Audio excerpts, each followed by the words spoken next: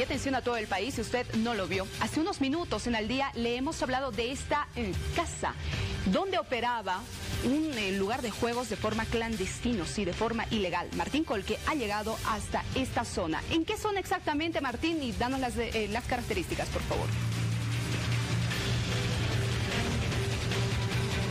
Bueno, estamos en la zona de La Moyurina, esta es la calle Fray Tomás. Y en este lugar específicamente es donde funcionaba esta casa de juegos. Eh, muy próximo que existe un bloque de viviendas militares, también hay que mencionar aquello. Estamos en la zona de La Moyurina.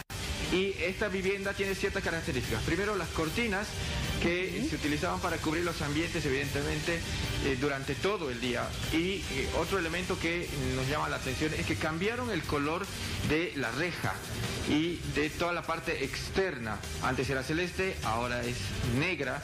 Se dieron el trabajo de, hacer aquello. No hemos encontrado cámaras de seguridad próximas. Sí hay una valla de seguridad de alambre, eh, de una cerca eléctrica, como se puede apreciar también. Y bueno, en este lugar es donde se encontraron las 13 máquinas. Dos características que hay que mencionar, personas de la tercera edad las que acudían a este lugar y las traían en un bus eh, a, los interesados para que puedan permanecer horas de horas en este punto, eh, justamente jugando baña. Martín, si uno camina por esta zona y pasa por esta vivienda, ni se imagina que dentro había una casa ilegal de juegos, ¿no? No, para nada, absolutamente nada. Pero sí, lo que debió llamar la atención poderosamente de los vecinos, por eso hay algunas viviendas que tienen cámaras de seguridad, te muestro a continuación, la de al lado, por ejemplo, tiene cámaras de seguridad, es que lo que le llamaba la atención es que lleguen en bus, ingresen personas de la tercera edad y lo hagan a cualquier hora del día, ¿no? Bueno, sí, un buen apunte el que tú haces.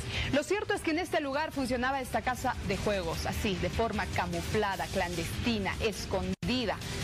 ¿Y por cuánto tiempo? No lo sabemos, ¿no, Martín? Ahora, tú decías hace un momento algo importante. Es posible que no sea el único lugar, es posible que también en viviendas particulares se hayan habilitado otras casas de juego. ¿Cómo están los operativos, los controles, Martín, para cerrar, por favor? Aquí interviene eh, de manera importante el vecino. El vecino es el que debe alertar a la autoridad del juego si ve estas cosas irregulares. Y eso es lo que ha pedido la propia autoridad del juego.